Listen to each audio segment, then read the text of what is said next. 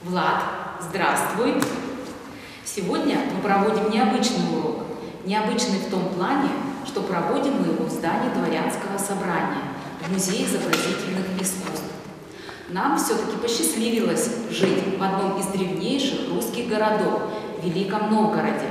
Новгородцы по праву гордятся замечательной историей, культурой своего родного города. А тема нашего урока – алгебраические выражения. Скажи, пожалуйста, какие выражения ты уже встречал, знаешь, применяемые в курсе алгебры?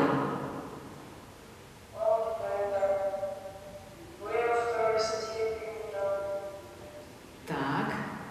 А b во второй – это что такое? b – это что? Буква, молодец. Значит, как выражения называются? Буквенные, совершенно верно. Или уже в курсе алгебры мы их называем выражения с переменными. А еще, кроме переменных, что мы еще встречаем в выражениях?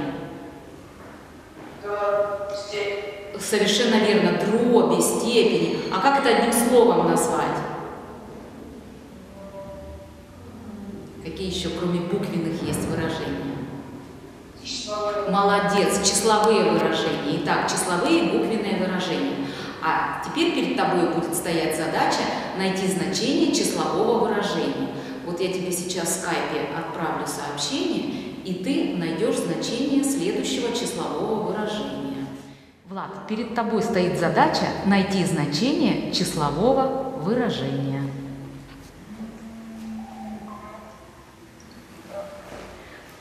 Так, единственное, вот у тебя э, перед 2 в третьей степени стоит единичка? Нет. Нет, не стоит, да? Так, ага. Ага, вот смотри внимательно. Ага, Вот я, я все, открыл. Ага, видишь, да? Видишь вот это выражение. Значит, для выполнения вот этой задачи тебе нужно воспользоваться таблицей кубов натуральных чисел и найти значение данного числового выражения. Я прошу тебя при нахождении значения этого выражения озвучивать это все вслух. Хорошо. Так. Просто.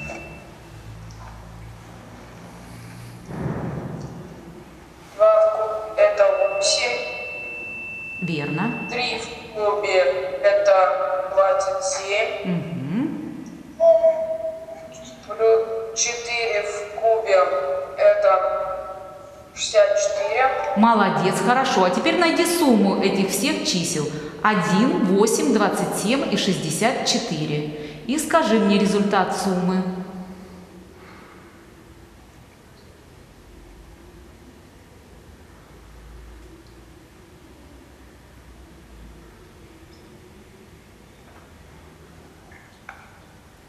Сто. Молодец. Так, далее продолжаем. Что мы должны сделать? Умножить на девятнадцать. Ага. Тысяча девять- тысяча девятьсот. И далее. Тысяча восемь- восемьсот шестьдесят два. Итак, у нас получилось в результате число, молодец, 1862. Как ты думаешь, какая взаимосвязь? Что-что? Это год чего? Год создания памятника. А Как памятник называется? Так, озвучь название памятника. Ты правильно говорил. Как называется памятник? Ну? Забыл уже. Тысячелетие. Нет, тысячелетие нашей страны. России, тысячелетие России. А картина это известного художника Вилли Ванти. Открытие этого памятника состоялось 8 сентября 1862 года. Авторами памятника являются скульпторы Михаил Никешин и Иван Швед. Ну и в итоге я хочу э, процитировать слова из э, книги нашего новгородского писателя Виктора Смирнова «Россия в бронзе». Он стоит центре новгородского Кремля, словно громадный безмолвный колокол, вросший в древнюю землю, ибо повествует он не об одном событии, а о целом тысячелетии и посвященном не одному человеку, а целому народу. Вот для того, чтобы ты получше узнал об этом памятнике, я э, познакомлю тебя, э, вернее, отправлю тебе ссылочку на сайт Новгородского государственного объединенного музея-заповедника, и где ты там можешь познакомиться э, с другими достопримечательностями и с историей вот этого памятника тысячелетия России. И именно в здании дворянского собрания, в здании музея-заповедника мы с тобой проводили наш урок алгебры. И следующее тебе будет домашнее задание. Э, для того, чтобы узнать количество фигур, изображенных на памятнике, ты должен выполнить одно уравнение, которое тоже будет у тебя в сообщении в скайпе.